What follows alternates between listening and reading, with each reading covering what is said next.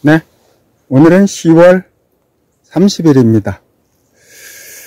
아, 지금쯤은 어떤 농작물에 관심이 집중될까요? 김장, 무하고 배추죠. 자, 여기 보이는 이 무는 제가 9월 5일날 배추와 동시에 심었습니다. 아, 한 55일 정도 됐네요. 뭐가 이제 뭐 이 정도면은 아, 김장하는데 전혀 지장이 없을 만큼 자 큼직하게 크고 있습니다.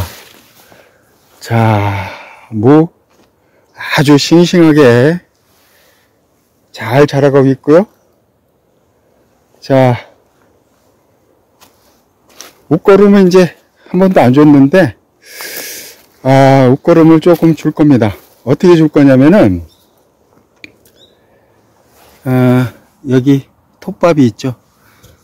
저는 이제 가을에 게를 사 먹으면 톱밥이 나와요. 얘하고, 여기 얘 퇴비. 퇴비는 1년에 한 포 반 정도 씁니다. 어, 얘하고 흙, 흙 30%, 얘 30%, 톱밥, 얘 40%, 퇴비. 이렇게, 이렇게 이제 섞어 가지고, 배추 있잖아요.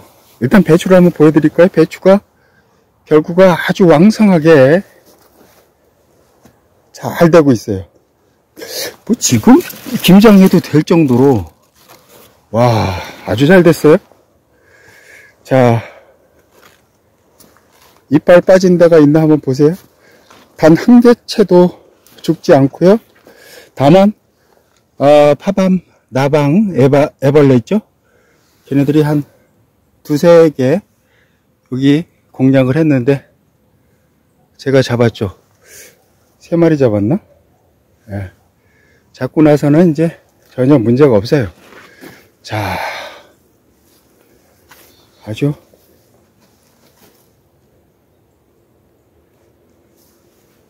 아주 싱싱하게 잘 자라고 있습니다. 자, 이때 이제 맛있는 배추를 만들기 위해서는 아, 화학 비료보다 자 퇴비 있잖아요. 퇴비하고 톱밥 없으면 톱밥 없으면 상관없어요. 흙하고 섞어 가지고 어디다 주냐면은 여기 있잖아요. 여기 여기 여기 요 사이 요 사이에다가 좀 뺑 둘러서 어, 자 주면은 얘네들 결구를 더 왕성하게 합니다. 얘도 뭐, 야, 얘는 누르스름한데요? 황금배추 같은데? 자, 여기, 요 사이. 자, 지금 이 비닐 걸침, 자, 뚫린 데 전혀 없죠? 아, 처음으로 이 배추 맛을 향상시키기 위해서, 음, 그리고 결구를 조금 더 왕성하게 하기 위해서, 자, 이렇게 준비를 했습니다. 그리고 그 가장자리에다가 줄 거예요. 와, 땅땅해요. 얘네들 땅땅합니다. 자, 여러분들도 마무리 작업으로 자, 퇴비 아, 화학 비료보다는 퇴비 퇴비를 어, 배추 잎 아니지 배추 뿌리 가장자리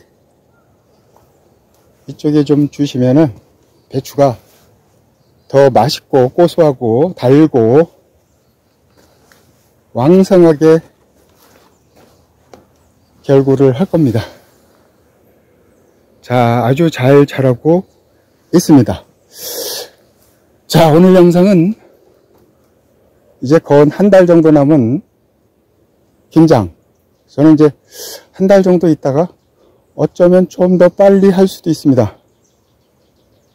아, 김장을 할 텐데요. 김장 하기 전에 마무리 작업으로